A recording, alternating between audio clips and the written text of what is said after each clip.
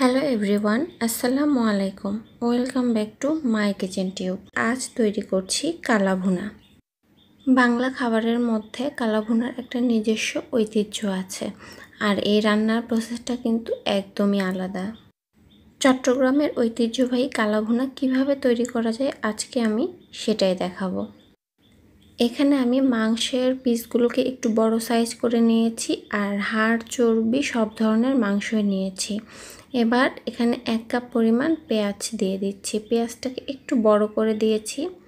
দিচ্ছি তিন চারটে তেজপাতা, পাঁচ ছটা দারুচিনি, তিনটে কালো এলাচ, পাঁচ ছয়টা সাদা এলাচ, মাথাটা একটু চিড়ে দিয়েছি আর দিচ্ছি গোলমরিচ। দিচ্ছি লং। সেই সাথে দিয়ে দিচ্ছি আদা রসুন বাটা।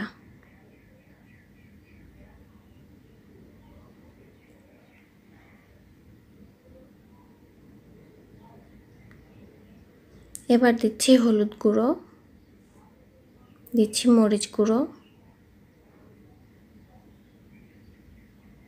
দিচ্ছি ধনের গুঁড়ো, দিচ্ছি লবণ।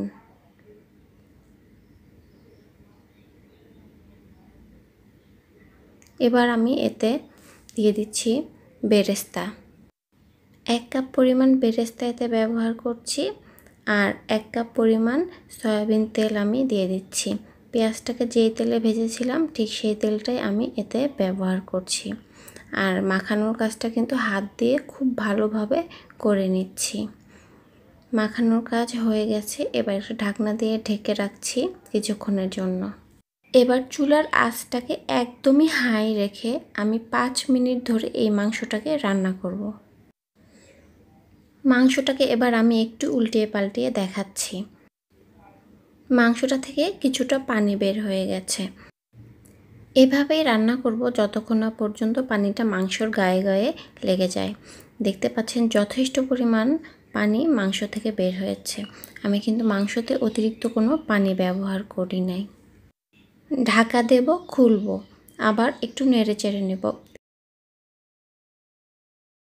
এভাবে যতক্ষণ না পর্যন্ত মাংসের গায়ে গায়ে পানি আসে, ততক্ষণ পর্যন্ত আমি একইভাবে রান্না করব। আবারও বলছি, যতক্ষণ না পর্যন্ত মাংসের গায়ে গায়ে পানি চলে আসে, ততক্ষণ পর্যন্ত একটু করে ঢাকা দেব, একটু করে নাড়বো, আবার একটু করে রান্না করব।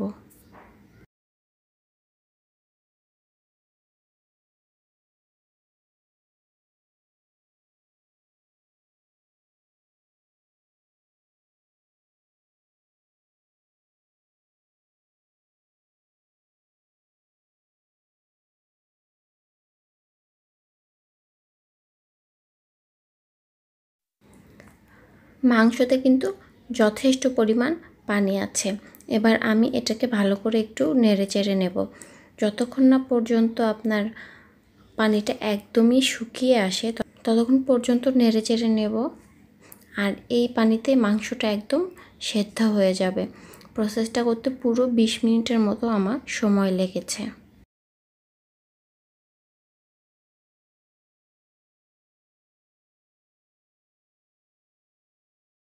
মাংসের পানিটা একদম শুকিয়ে উপর থেকে তেল বের হয়ে এসেছে।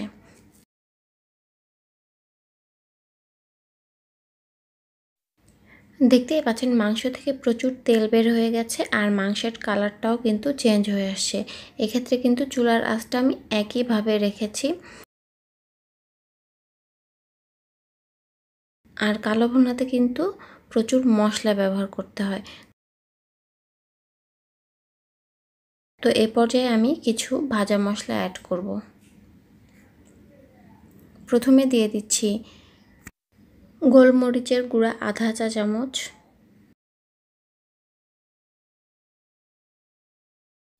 দিচ্ছি জয়ফল গুঁড়ি। দিচ্ছি জৈত্রী গুঁড়ি। দিচ্ছি গরম মশলার গুঁড়া। দিচ্ছি ভাজা জিরার গুঁড়া। দিচ্ছি রাঁধুনি।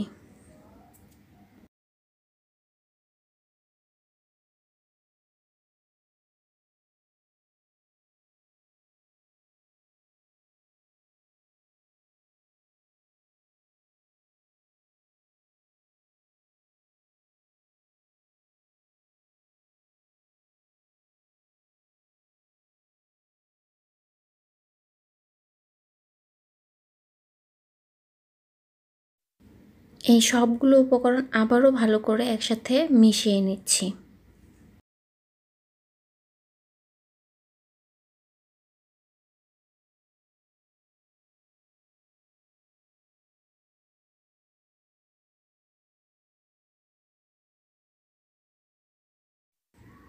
মেশানো হয়ে গেলে চুলার আঁচটাকে একদমই কমিয়ে এটাকে ঢাকা দিয়ে রেখে দেব। আর এ পর্যায়ে আমি বাগারের প্রিপারেশান নেব। এবার একটি প্যানে এখানে এক কাপ পরিমাণ সরিষার তেল ব্যবহার করছি। বাগারের জন্য কিন্তু অবশ্যই সরিষার তেলটাই ব্যবহার করতে হবে। আর কালো ভুনার অথেন্টিক স্বাদটা পেতে হলে সরিষার তেলই আমরা এখানে ব্যবহার করব। তো এক কাপ পরিমাণ পেঁয়াজ কুচি দিয়ে দিচ্ছি। দিয়ে দিচ্ছি এক চামচ আদা রসুন কুচি। আর দিয়ে দিচ্ছি কয়েকটা শুকনো মরিচ।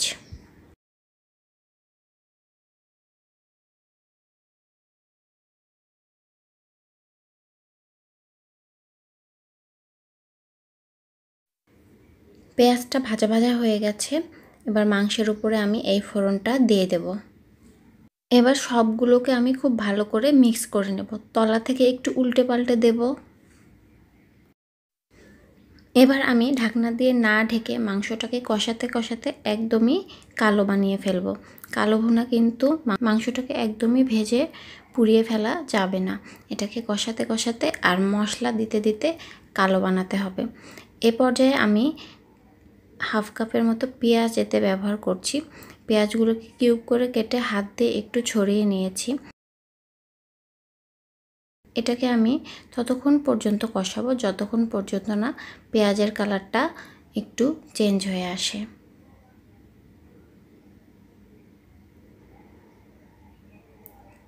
কালো ভুনার প্রসেসটা পুরোটাই আমার কমপ্লিট হয়ে গেছে। এবার আমি এটাকে পাঁচ মিনিটের জন্য ঢাকনা দিয়ে ঢেকে চুলাতেই অপেক্ষা করব।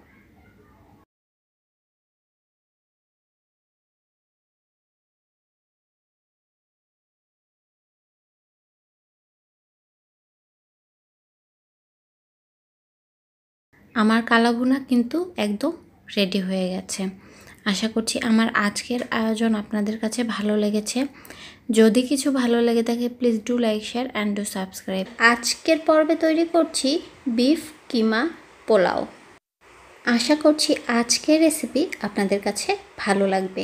চলুন ভিডিওটি তাহলে দেখে নেওয়া যাক। প্রথমে এখানে আমি প্যানে দুই টেবিল চামচ ঘি দিয়ে দিচ্ছি। ঘিটা একটু গলে আসলে এর ভেতরে দিয়ে দেব পেঁয়াজ কুচি।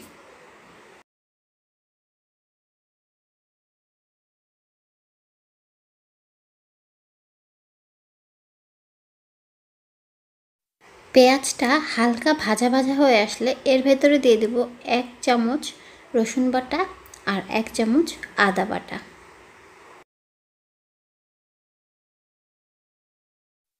মশলাটা একটু কষিয়ে নিয়ে এর ভেতরে দিয়ে দিচ্ছি এক কাপ পরিমাণ গরুর মাংসের কিমা।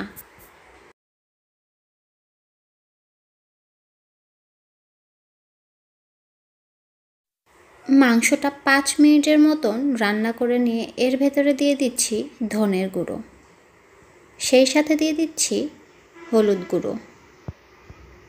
আর এতে ব্যবহার করছি পরিমাণ মতন লবণ।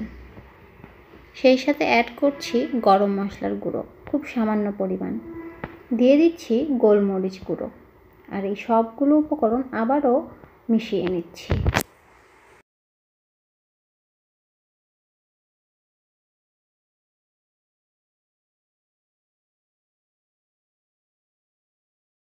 সব উপকরণ ভালো করে ভাজা ভাজা করে নিয়ে সামান্য পানি দিয়ে এটাকে মিডিয়াম আঁচে রান্না হওয়ার জন্য ঢেকে দেব।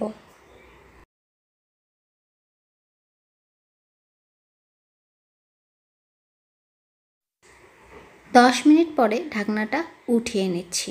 মাংসর থেকে কিন্তু তেল বের হয়ে এসেছে আর মাংসটাও কিন্তু সেদ্ধ হয়ে গেছে। একদম এটাকে আরেকটু ভাজা ভাজা করে নিয়ে নামিয়ে নেব।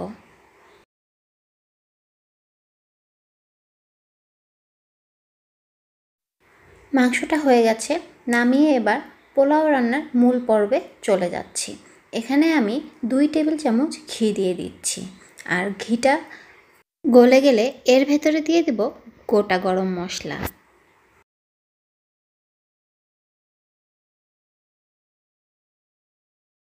দিচ্ছি তেজপাতা।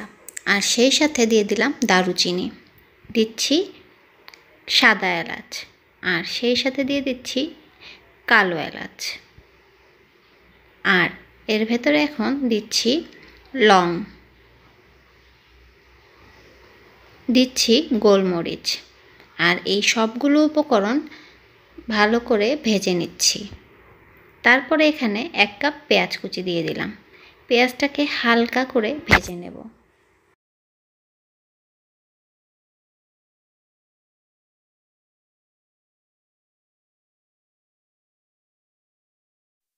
পেঁয়াজটা যখন হালকা ভাজা ভাজা হয়ে যাবে, এর ভেতরে দিয়ে দিচ্ছি আদা বাটা।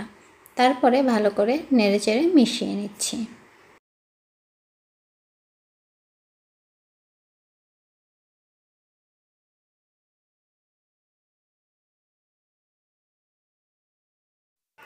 এরপরেতে রসুন বাটাও দিয়ে দিচ্ছি।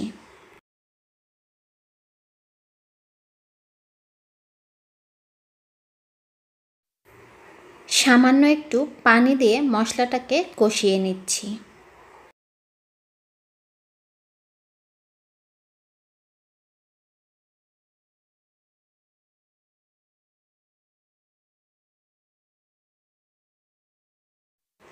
মশলাটা কষানো হয়ে গেছে। এবার এতে পানি দিয়ে দিচ্ছি। যতটুকু পরিমাণ চাল দিব, তার ডবল পানি এতে ব্যবহার করছি। আমি এখানে আড়াইশো গ্রাম চাল ব্যবহার করছি। আর পানির পরিমাণটা রেখেছি পাঁচশো গ্রাম। এরপরেতে চালটা ঢেলে দিলাম।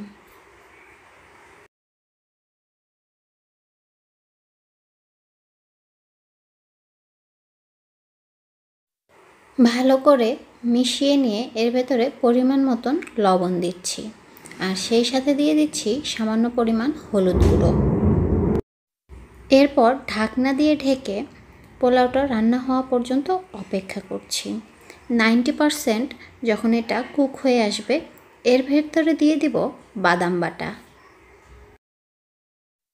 দিয়ে দিচ্ছি খুব সামান্য পরিমাণ ক্রিম।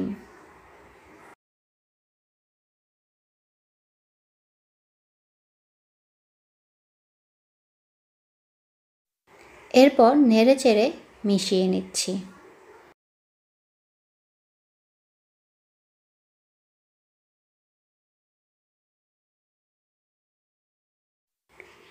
এখন এতে দিয়ে দিচ্ছি সামান্য পরিমাণ চিনি। দুধের সাথে চিনিটাকে ভালো করে মিশিয়ে এর ভেতরে ঢেলে দিচ্ছি।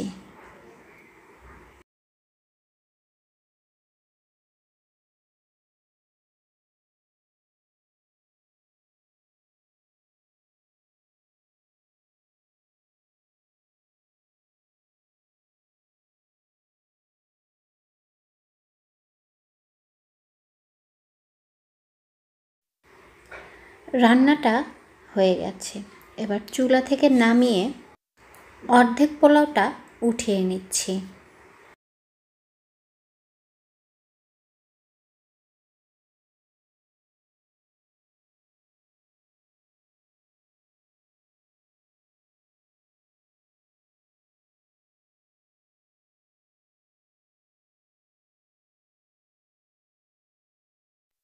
এরপর এতে দিয়ে দিচ্ছি তৈরি করে রাখা বিফ কিমা।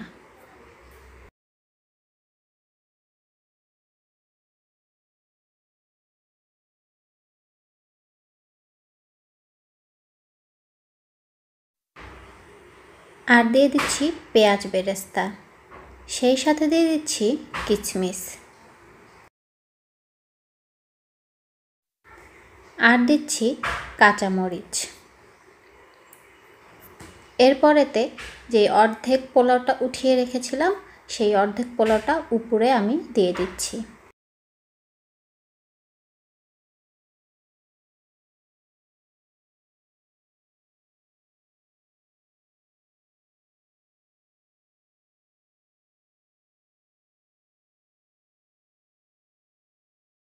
এরপর ঢাকনা দিয়ে ঢেকে চুলার লো আছে এটাকে পনেরো থেকে বিশ মিনিটের জন্য রেখে দেব। ফিরে আসছি পনেরো থেকে বিশ মিনিট পরে। আমি পোলাওটা সার্ভ করে দেখাচ্ছি।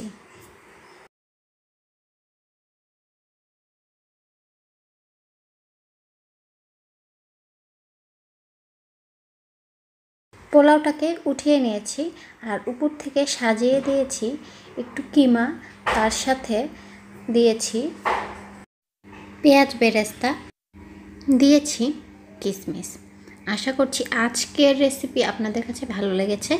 ভিডিওটি ছেড়ে যাওয়ার আগে যদি কিছু ভালো লেগে থাকে please do like share and do subscribe recipe আমি যেভাবে বাড়িতে চটজলদি গরুর মাংস রান্না করি, সেটাই আপনাদের সাথে শেয়ার করব। আশা করছি আজকের আয়োজন আপনাদের কাছে ভালো লাগবে। চলুন ভিডিওটি শুরু করি। রান্না করব গরুর মাংস। তার জন্য এখানে গরুর মাংস নিয়ে নিয়েছি। আর এর ভেতরে দিয়ে দিচ্ছি পেঁয়াজ। আর পেঁয়াজটাকে একদম চাকা চাকা করে কেটে নিয়েছি। আর সেই সাথে দিয়ে দিলাম আদা, রসুন, জিরা একসাথে বাটা। আর দিচ্ছি হলুদ গুঁড়ো। সেই সাথে দিয়ে দিলাম ধনের গুঁড়ো। আর পরিমাণ মতন মরিচ গুঁড়ো। সেই সাথে দিয়ে দিয়েছি দুটো শুকনো মরিচ। আর দারুচিনিও দিলাম। আর দিলাম সাদা এলাচ, আর দিলাম গোলমরিচ আর লং, সেই সাথে গোটা জিরা। পরিমাণ মতন লবণ। এই সবগুলো উপকরণ হাত দিয়ে খুব ভালো করে মাখিয়ে নেব।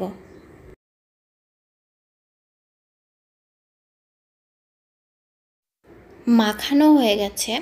এবার হাতটা মাংসের ভেতরেই ধুয়ে নিচ্ছি।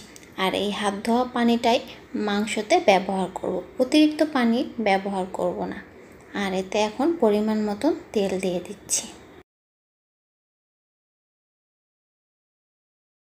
তাহলে চলুন কীভাবে এই মাংসটা চট জলদি রান্না করি।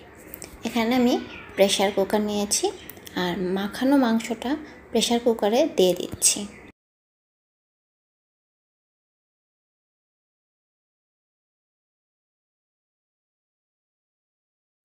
এবার প্রেশার কুকারের ঢাকনাটা বন্ধ করে দিচ্ছি আর অপেক্ষা করছি চার থেকে পাঁচটা সিটি ওঠা পর্যন্ত।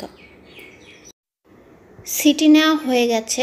কিছুক্ষণ অপেক্ষার পরে ঢাকনাটা আমি খুলে আপনাদেরকে দেখিয়ে দিচ্ছি। মাংসটা কিন্তু সেদ্ধ হয়ে গেছে আর ওপর থেকে কিন্তু তেলও ভাসছে আর যথেষ্ট পরিমাণ পানিও কিন্তু এর থেকে বের হয়ে এসেছে। এই পানিটাতে মাংসটা কষিয়ে নেব। দশ থেকে পনেরো মিনিট মাংসটা আমি কষিয়ে নেব। চুলার জালটাকে মিডিয়ামে রেখে খুব সুন্দরভাবে ঢাকনা দিয়ে ঢেকে আবার একটু পরপর ঢাকনাটা উঠিয়ে মাংসটা কষিয়ে নিলেই ব্যাস হয়ে যাবে। আর যতক্ষণ না পানি শুকিয়ে তেল বের হয়ে আসে, ততক্ষণ পর্যন্ত এই মাংসটা আমি কষিয়ে নেব। দেখতেই পাচ্ছেন মাংসটা থেকে তেল বের হয়ে এসেছে। এ পর্যায়ে আমি এতে ভাজা জিরার গুঁড়ো অ্যাড করছি।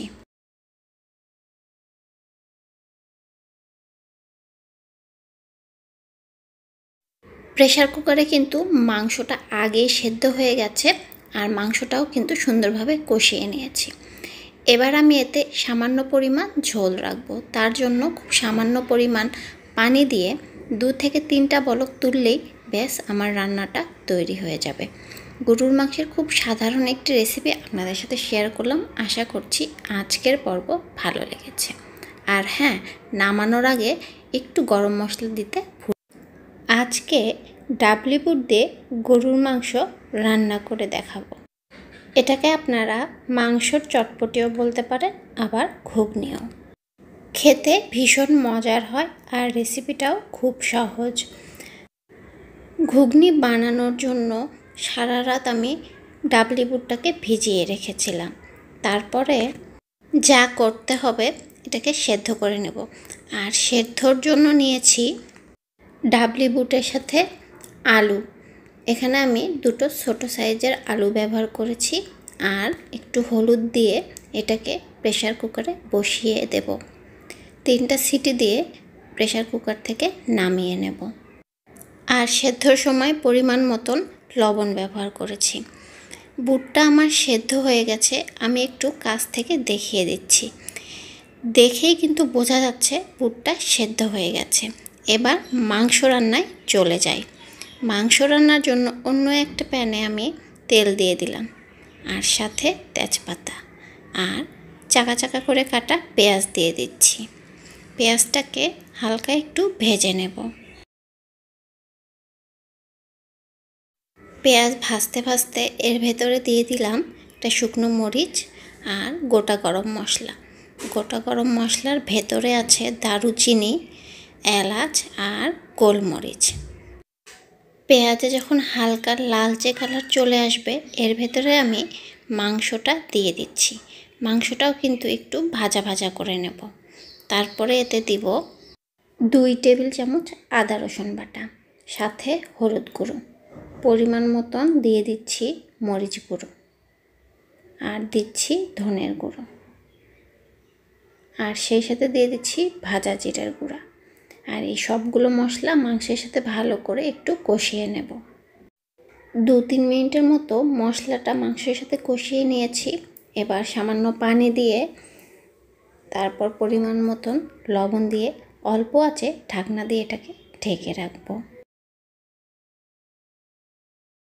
মাংসটা সেদ্ধ হওয়ার মাঝে মাঝে ঢাকনাটা উঠিয়ে কিন্তু আমি এটাকে নেড়ে চেড়ে নিয়েছি। তারপর এক পর্যায়ে আমি এখানে চটপটির মশলাটা দিয়ে মাংসটাকে ভালো করে কষিয়ে এর পানিটা শুকিয়ে ফেলব। মাংস থেকে কিন্তু তেল বের হয়ে এসেছে। এ পর্যায়ে আমি ডাবলি বুটটা দিয়ে দেব আর মাংসটাও কিন্তু আমার সেদ্ধ হয়ে গেছে। এখন মাংস আর ডাবলি বুট ভালো করে মিশিয়ে নেব।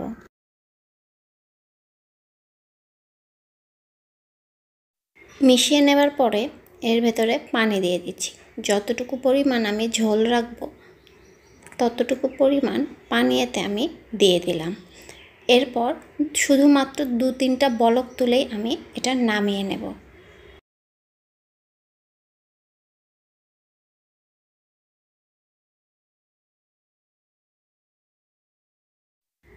রান্নাটা আমার হয়ে গেছে। আমি কতটুকু পরিমাণ ঝোল রেখেছি আমি চামচের সাহায্যে আপনাদেরকে বুঝিয়ে দিচ্ছি। আমি এ পরিমাণই পানি রাখলাম। ঠান্ডা হবার পরে কিন্তু পানিটা একটু টেনে নেবে। খাবার সময় ইচ্ছে মতন পরিবেশন করতে পারেন। একটু তেঁতুলের জুস, সাথে একটু পেঁয়াজ, মরিচ, আর ধনেপাতা। আশা করছি আজকের পর্ব ভালো লেগেছে। আজকের আয়োজনে এখানেই বিদায় নিচ্ছি। সবাই ভালো থাকবেন। আল্লাহ হাফেজ।